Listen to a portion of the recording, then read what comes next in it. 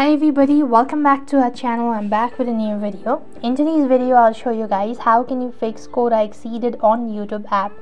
If you're encountering a quota exceeded error on YouTube app, it likely means you've reached the you've reached the daily limit for using the YouTube Data API, which is 10,000 unit per Google Cloud project. To fix this, you could either wait for a quota to reset at midnight uh, Pacific time or request a higher data limit. Now here's how you could do it. The YouTube Data API allows developer to access YouTube content and functionality programs. Now if you want to fix it so what you could do is you could either wait for a daily reset. The simplest solution is to wait until the daily quota reset at midnight Pacific time.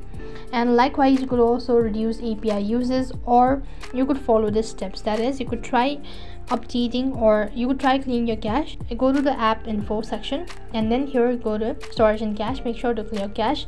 Now clearing your data is going to delete all of your information. So if you only want to do it so then you could do it and next thing what you want to do is click on force stop and wait for a couple of uh, seconds or maybe a minute. That could be able to fix. Or else you could also go ahead and appeal for the quota extension and that should be able to fix it soon. So these are some of the ways to fix your quota exceeded on youtube app. I hope the video was helpful.